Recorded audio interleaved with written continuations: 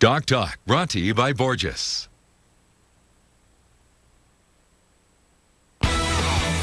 You're watching News Channel 3 for terminally ill patients.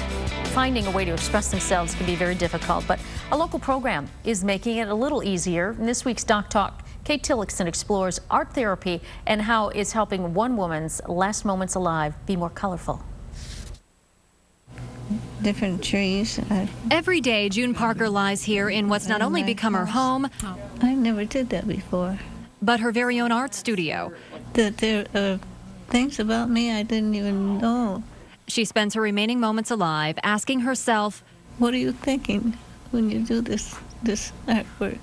The sunsets, the plants. I fill whole pages up. That amazed me.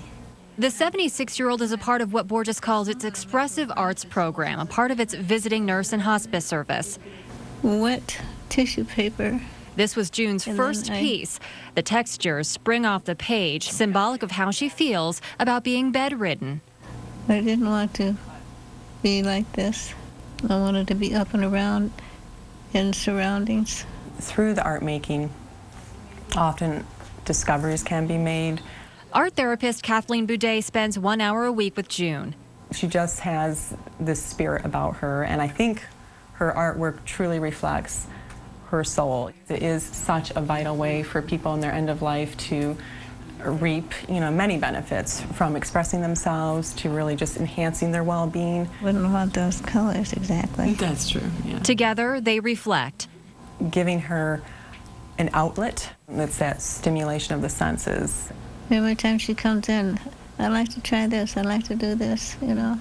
These hot air balloons speak to June's immobility. This ocean scene, alive with fish, with a scared creature holed up in a dark corner, perhaps a self portrait.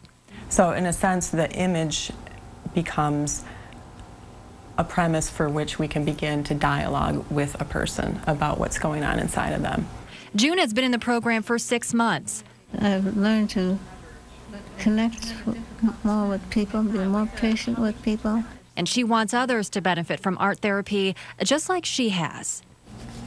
Any way I can help anybody to feel more human June is one of 10 patients currently enrolled in the Diane's Way Expressive Art program, created for and named after a woman who, even after losing her right hand, filled dozens of sketchbooks during the last 18 months of life. The program also includes literature and music therapy. For more information, log on to homehealth.borgess.com. We've also linked you there from our website. For this week's Doc Talk, I'm Kate Tillotson.